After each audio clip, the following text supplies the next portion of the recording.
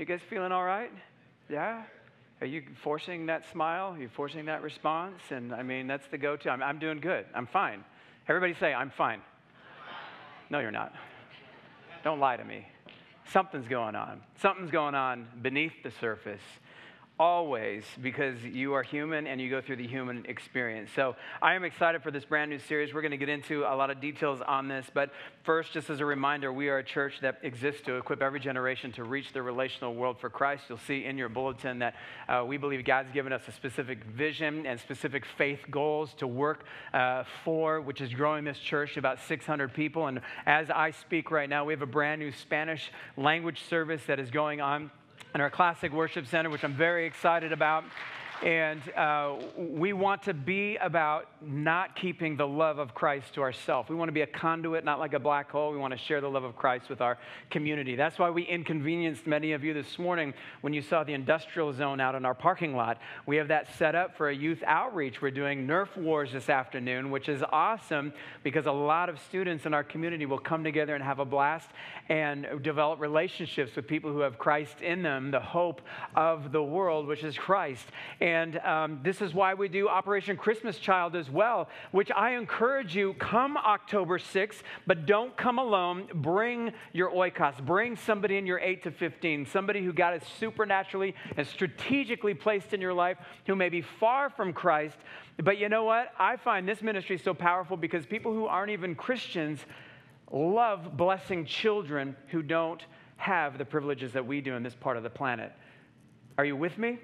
So think of somebody and invite them and be a part of that ministry. So I, I want to talk about our bottom line right up front for this new series, Emotionally Healthy. And here's the bottom line it comes from a fantastic book that I'm going to tell you about. So the bottom line is Christian spirituality without an integration of emotional health can be deadly to yourself, your relationship with God, and the people around you. And this comes from uh, author and, and pastor Peter Scazzero's book called Emotionally Healthy Spirituality.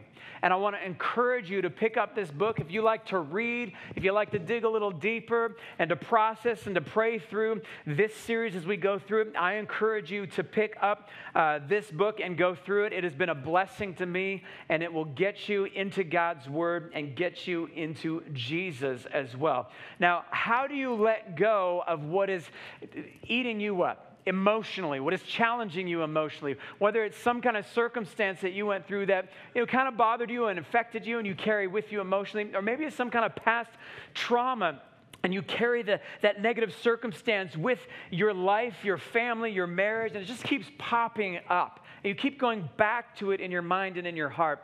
And as negative as the experience was in the past, you, you love the emotional response to it because you keep it close to you. You hold on to it. And when you hold on to it, you give that emotional pain, that emotional circumstance, power over your life. You keep your energy tied to the people, for example, that may have hurt you in the past, and you make that part of your identity. I love this statement. Think about this. You might be addicted to your problems you might be addicted to your problems and therefore addicted to the emotional response wherever it takes you. And as a Christ follower, that can be a matter of idolatry, of worshiping something that is not God and placing your problems, placing your emotional state on such a high platform in your life where they were never supposed to be. And I believe this sermon series is going to challenge us to be thinking about the little g gods in our life that are warring for our allegiance. And that can be the circumstances that were painful in our past and the emotional state that we're currently in because of what we went through. But only the one true God we read about in Scripture has the sovereign power and authority to satisfy every longing in your heart, even when you don't feel Him, even in the midst of your emotional pain. We want to come back to God with all that we are. Now, I recently heard a, a podcast interview and it was with a counselor and a counselee. And, and this guy was talking to this woman. She's a grown adult been married for many many years has children of her own. And she was sharing this experience of when she was 14 years old when she was a freshman in high school she was raped by four high school senior boys at a party. And so she was unpacking this story on, uh, to this counselor, and she shared how she struggled, obviously, with this, this traumatic experience and, and, and, carried it with her for many, many years. And of course, somebody in, in a traumatic experience would, in fact, do that. But what she shared, too, that was so insightful is that she articulated how she continued for years and years and years to live her life identity within that traumatic experience. She identified herself as this victim. And what she said is that she elevated the emotional response to that to a place of power and influence where it always you know changed her emotions and then that changed her behavior as a result. And, and and some people can do that. Some people can take horrific experiences or just negative experiences and you know what? We love them and we hold on to them and we carry that anger or that bitterness or that rage whatever emotional state you're in with you through your life. And I have done this. Many, many years ago, I was at this church and there, there were these you know, spiritual authorities over me in my life, and they stole literally, no joke, tens of thousands of dollars from my family. No attempt at making an apology or restitution. And I have carried frustration and bitterness. Sometimes I wake up and I'm like, why am I even a pastor at a church? Those guys hurt my family. And I carry that with me. And I, and I get it. But sometimes I let my emotions get to such a high platform that it clouds out the reality that Christ overcomes any trial. Christ overcomes any negative emotions. And there is incredible hope and grace for the present and the future in all of our lives. Amen. Do you agree with that? Do you believe that? Amen. So, what about you? What negative experience in your past or maybe your present that is emotionally riling you up, that the pendulum of emotions in you is swinging actively and intensely. Maybe you were let go from a job and you still remember that. You still feel the pain of that moment when you were told. Or maybe you were never hired in the first place after dozens and dozens of interviews. You kept knocking on doors and the door was shut in your face and you're still struggling with that. Maybe you went through a divorce or some kind of abuse or you just personally made a dumb decision yourself and it hurt people around you. It hurt them bad. And you can't take it back. And you still struggle emotionally with the pain of that. And you carry that pain with you on a daily basis. And yes, you want to you want to learn from that pain and rise above it and make tomorrow better, but but it's still you still drag that emotional pain with you. And what do you do with that? So the counselor in this interview said something profound. And they camped on this concept for a bit, and I think it's true. He said, One of the greatest addictions that we can have is our addiction to our problems, past and present. Our addictions to our problems and to the re- emotional response because we keep playing them over and over and over in our minds. And for whatever reason, we just grow close to them and keep them close to our mind. And those problems justify the lack of actions we take in life or should be taking in life. Now, it's our responsibility to go where God's calling us, but sometimes we say, God, I'm going to play this card, this get out of responsibility card, because I'm still having a hard time with ABC. And that can be our identity, and we can keep playing that card over and over and over. And again, I'm not trying to diminish the pain of going through a tough circumstance. You need to deal with it. But to create an identity for the rest of your life within something like that, that's something that we need to think about. You see, that can keep us from taking risks for God because we find our significance in our pain and our emotional response. Instead of finding our significance and taking risks for God. What's God calling you to do? When was the last time your heart beat so fast, you were so nervous, your palms are sweaty, you were absolutely afraid if God doesn't come through for this, I, am dead in the water. When was the last time you were in that place emotionally? Maybe inviting somebody to church, inviting somebody to, to fill Operation Christmas Child shoeboxes, or inviting them to your small group. Uh, when was the last time you did that? And you were so nervous because you, you don't know how they're going to respond. You don't know the questions they're going to ask, or, or maybe they're going to judge you. Uh, you have no idea. But when was the last time you took a significant risk for God? Maybe we find our significance too much in our emotional response to things that happen in our life. Now, everyone has problems. If you look around this room, there's a lot of beautiful people in this room, but they all have problems. I'm just telling you. Your neighbor, you're sitting beside a potato sack of problems right there. I'm, I'm, telling you, it's, that's just the reality. We all have issues, we all have challenges, we all have problems. And, and a lot of us, um, especially men, can walk around with poker faces like, now we got it. We don't have problems. Uh, how are you feeling today? Fine. Okay. Good. We're all fine, right? You're fine, I'm fine, we're all fine. We're not fine. But listen, some of the people who um, externally uh, look like you manage your emotions well, you're probably the worst.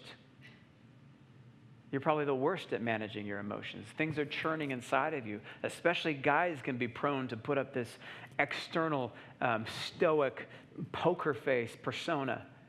But yet, guys, you are emotional and you deal with this stuff and you deal with the crud in your life. And, and then sometimes we, we just let it out in an unhealthy way because we don't know how to deal with it bitterness, anger, resentment, confusion.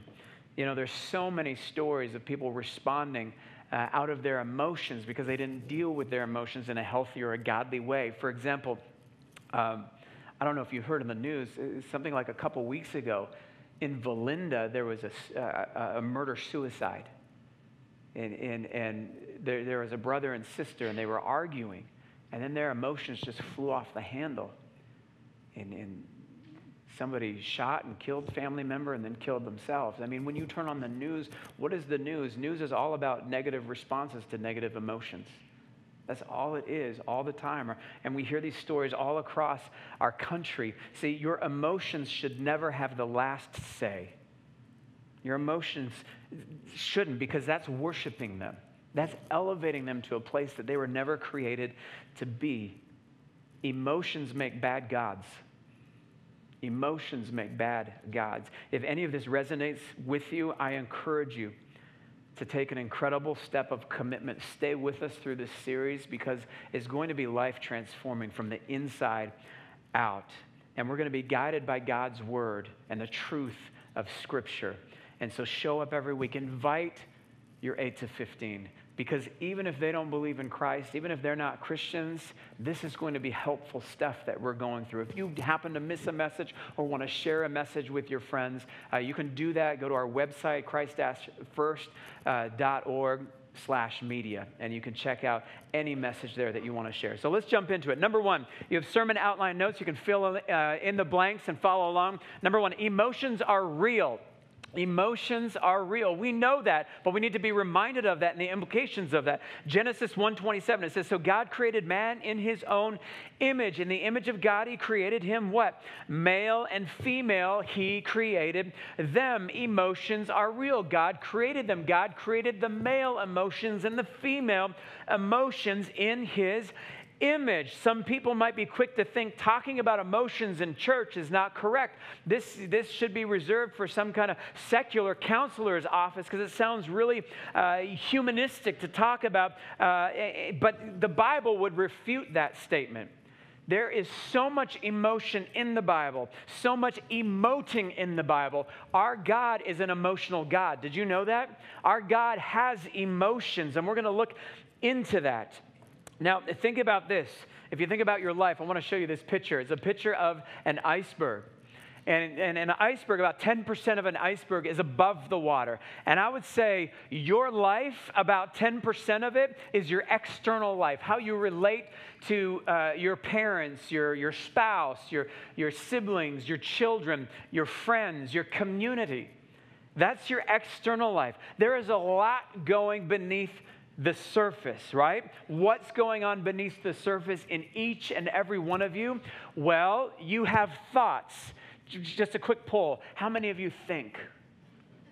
Okay, not everybody, but um, we all think. And then we all have beliefs about what we think, and our beliefs inform what we think. And then our beliefs are informed about our authority source. If you're a Christ follower, you say, Christ is my authority. That informs my beliefs, that informs my thoughts.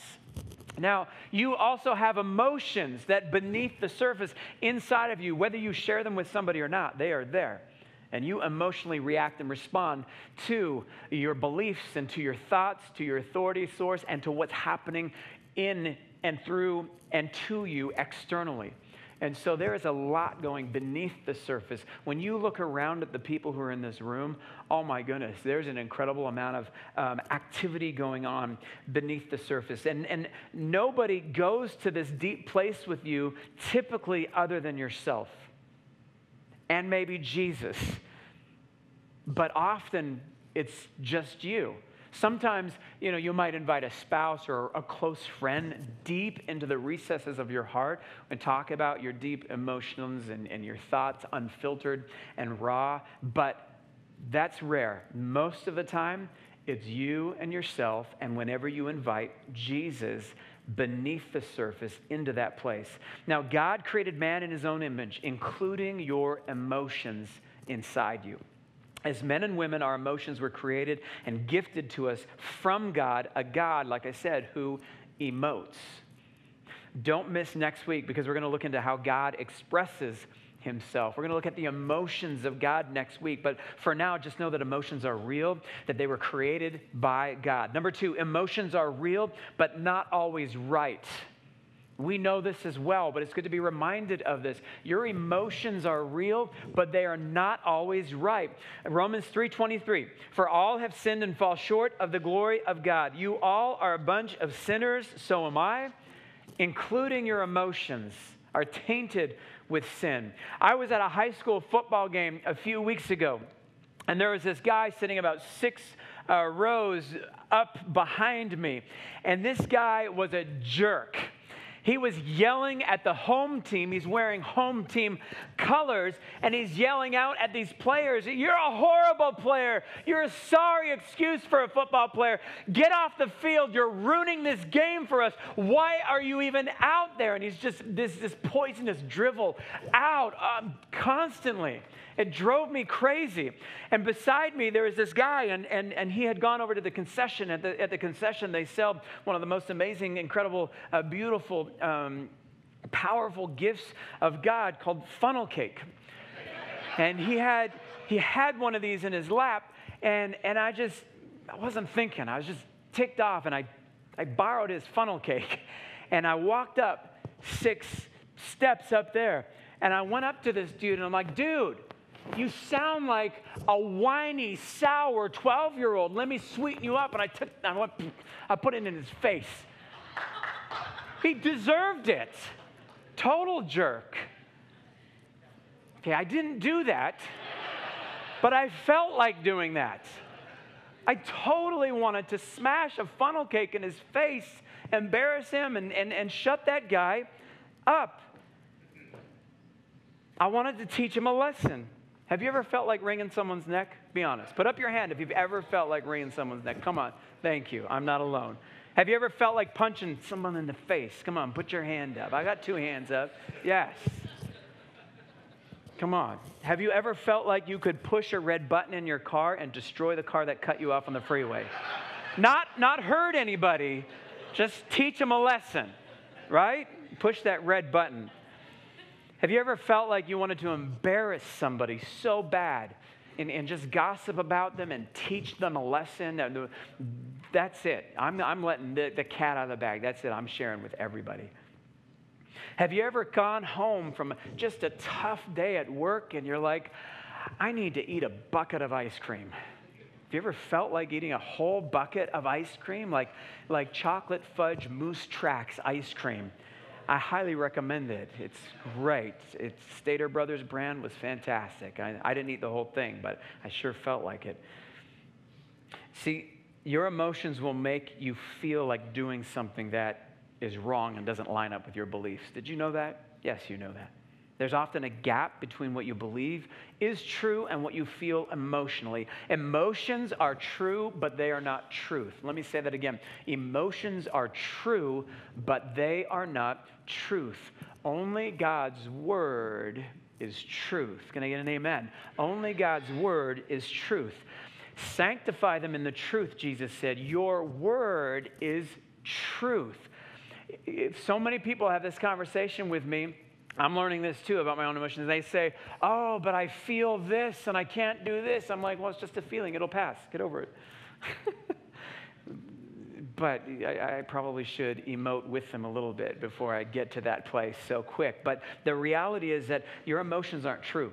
Uh, truth. They are true, but they are not truth. The lie that you buy into is that your emotions are truth. That's the lie that I buy into. The gift of God, though, is that you don't have to buy into your initial emotional reaction to anything. Praise God for that. That's a gift from God. He gives you that gap, that opportunity. God has gifted you with metacognition. You can think about your thoughts as you think about your emotions. You have the ability to conceptualize that and to think about, okay, here's what I feel like doing. Maybe I shouldn't do that. I'm going to squash that. Filter's going to kick in. See, Proverbs 14, 12, it says, There is a way that seems right to a man, but it is, but its end is the way to death. And sometimes, literally, your emotions want to destroy you and they will take you down that path to destruction. I want to invite you to turn to Luke chapter 18. Uh, Luke chapter 18, if you have a, a Bible, if you don't, if you have a smartphone, download a Bible app and scroll to Luke chapter 18. Um, so we get that our emotions are not always right, but that they are true. Your emotions exist. You are an emotional person and they are real. They have a tendency to influence your decisions and my decisions. So if you feel like punching someone in the face or, or, or, putting a funnel cake in their face, what do you do with those feelings when they bubble up inside you passionately? A gift of God is the gap between your emotions and your actions. Did your mama ever tell you count to 10 before you react? Did she ever tell you that? Thomas Jefferson, uh, he, he, was, he, he was quoted as saying, If you're angry, count to 10 before you react. If you're very angry, count to 100. Take time and invite Jesus into that space between what you feel and how you want to react. So let's look at Luke uh, chapter 18. We've got a couple characters going on in this passage. We have a Pharisee, a religious leader at that time. Um, they were not seen in a positive light, uh, they were legalistic. They looked down on people, as you're going to see. And then we have a tax collector. Tax collectors were the bottom of the barrel morally in the Jewish culture. In Scripture, you will often see this phrase there were sinners and tax collectors. Tax collectors has their own category of being a sinner. They were so horrible and so repulsive. People hated them because tax collectors were Jewish people extorting money from their own people to give to the Roman uh, emperor. So that's the two characters going on here. Let's look at uh, chapter 18 of Luke, starting in verse 10. It says, Two men uh, went up into the temple to pray. So they're in Jerusalem. They're going up to the temple, which is a place to meet with God, to, to bring sacrifices to God, to honor, to worship God. It's kind of like going to, to church. And why did they go up there? What does it say? Why? To, to what? To, to talk to God. To talk to God. I love that. Why do you come to church? Do you come to church for the good music, to, to meet some people? Do you come to church to uh, get some good snacks? Uh, to hear some stories. Why do you come to church? I hope your number one reason you come to church is to meet with God. Amen? That's always got to be our number one reason to come to church. So, two men went up into the temple to pray. Wonderful. That's fantastic. One's a Pharisee and the other a tax collector. Now, the Pharisee, standing by himself, prayed. He prayed this God, I thank you that I am not like other men, extortioners, unjust, adulterers, or even like this tax collector. I fast twice a week. I give tithes of all that I get. But the tax collector, what was he doing? He's standing far off from this Pharisee. He would not even lift up his eyes to heaven, but beat his breast, saying, God, Be merciful to me, a, a sinner. And Jesus says, he comments on this story. He says, I tell you, this man, this tax collector, went down to his house justified rather than the other. For everyone who exalts himself will be humbled, but the one who humbles himself will be exalted. So, number three in your outline is humbly invite Jesus to heal your interior life. This is going to take work. This is going to take hard work. And Jesus says you have a part to play in humbling yourself. Now, you all think, put up your hand if you've ever had moments where you're just a lazy thinker. Appreciate the honesty. We all have a tendency to be lazy thinkers. We can be lazy with our actions, but we can also be lazy with our thoughts. I want to challenge you in this series to not be lazy thinkers, to really think about what God's teaching you, to think about what you're thinking about, and to think about your emotional state as well. And that's how you can humbly invite Jesus to heal your interior life. Again, but the tax collector standing far off, he would not even lift up his eyes to heaven. He, he beat his breast, saying, God, be merciful to me, a sinner. Now, this tax collector, he stood far off, as in, I am so disgusted with this guy. He's treating me like garbage, and I kind of probably feel like garbage as a tax collector. And I'm at this place, I'm at church, I'm with these religious leaders, and, and his emotions are real. He, he's probably mad, ashamed, and he feels like, like garbage. And, and this is how he responds in verse 13 he doesn't lift up his eyes. Now, at the temple, Jewish people would pray to God looking up with their arms outstretched, palms up as they prayed to God but not this tax collector. Why? He was humble. He was maybe disgusted with himself. He was just feeling like, I'm not worthy. I'm not going to come to God like that. Why would God accept me? And it says he's beating his breast. What does that mean? Well, in Scripture, this is an action of grief he is sad. He's, he's just feeling horrible about what kind of person, what kind of lifestyle he's living, how he does not measure up to this religious leader, to this Pharisee. And what does he do? He audibly prays to God. And what does he say? He says, God, just be merciful to me. A what? A sinner. He just throws the truth out there. And God knows what he's done. God knows what you have done. And I want to encourage you in your relationship with your perfect Heavenly Father, be real, be raw, tell Jesus exactly what you feel, articulate it. Don't be a lazy thinker when you're talking to God, but be articulate, share what you're feeling, get it off your chest, or like this guy, beat it off your chest, and just give it to God. It's better to be doing this than punching somebody in the face, I'm telling you. Jesus has big enough shoulders to handle your raw and real emotions. When was the last time you got so upset and you're, you're, you're cussing and you're talking to God while you're doing it? He can handle that. I bet you feel like cussing sometimes. I do. So, why do you hold back on that realness with God and invite Him into that emotion? God has big enough shoulders to handle your complaints at that level. In fact, in fact, at that real and raw level where you're encountering God, that's the type of person Jesus can work with. Someone being completely honest and humble with God about their emotional state and articulating it and saying it out loud. See, if you don't if you pretend you don't have garbage in your heart when you talk to Jesus, basically you're saying, "Jesus, I'm perfect. I'm perfect. I don't need you. I can handle this crud all by myself." And you're propping yourself up to be a God, and God's a jealous God, and He won't compete with anybody who thinks they can do a better job than Him. And all of a sudden, you're kind of like a Pharisee. Be real and raw. Don't pretend you're perfect because that's exactly where the devil wants you to be. He wants you to ignore those emotions so that you don't think about your emotions, you just emote. and let them take you wherever they take you. So don't be lazy. Don't be afraid of your shame and embarrassment to audibly express what's on your heart and desperately ask Jesus for mercy. And do it out loud. I do this often in my car when nobody's around. It's a great place to do it. Don't do it with your eyes closed if you're in your car behind the wheel. But this interior hard work is here for a lifetime.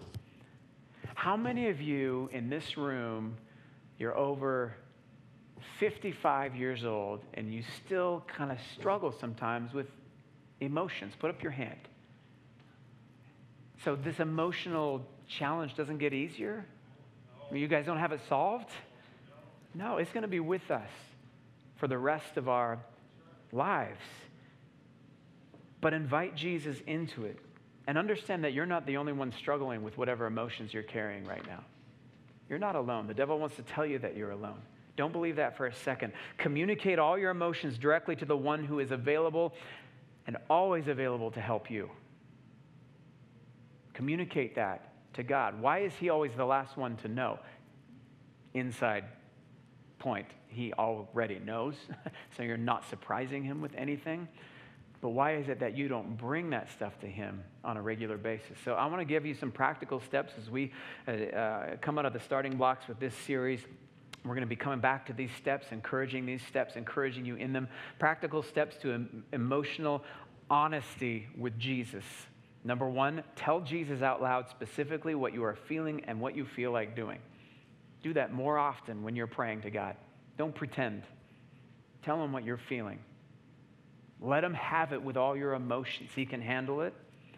But don't let your emotions be the final say in your time with the Lord. See, this is first stating what is true. Your, your emotions are true. But then, number two, you need to also state the truth and that's evaluating whether your true emotions line up with God's truth. That's why it's good to memorize this, remember this, get to church, hear God's word, read God's word, let the truth of God flow through your heart and through your mind, and then state the truth out loud. I love that the tax collector did that. He said, God, have mercy on me. As in, you know what? God can have mercy on you. Sometimes you need to be reminded of that by saying it audibly out loud. And then I want to encourage you to write this stuff down. Write it down in a journal. Start journaling if you don't. Write it down because you're more specific. Uh, it helps you to think more. It helps you to not be lazy with your thoughts when you spend a moment and just write down your thoughts in a journal. I personally use an app called Day One. It's, a, it's an awesome journal, and uh, I've been using it for many years. It, it, the interface is beautiful and, and it's fun to use. Um, and it re- reminds you, hey, it, it says, hey, this day in the, in the last few years, this is what you were journaling. And it, it brings that up. It's really cool. So I can get an, an, emotional insight to where I was a year or two ago. So write this stuff down and then do it every day. Do it every day. Do it every day. Don't make excuses. You brush your teeth every day. You can spend time with God every day. You can make excuses or progress. You can't make both.